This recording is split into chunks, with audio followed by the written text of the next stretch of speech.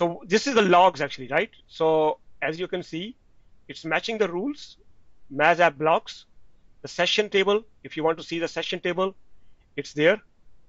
So this is because of the application control session. Okay. This is social networking. This Twitter is come under the social networking, instant chat and all those things. These are some description. Traffic is coming from this. For this port, destination is this. Today, and it's actually the policy is saying is dropped. That's the full session. This is the rule, and these are the detail as well for the for the session information. So it's firewall access and connection. The tra traffic is coming from 10 and going to this network is fully blocked.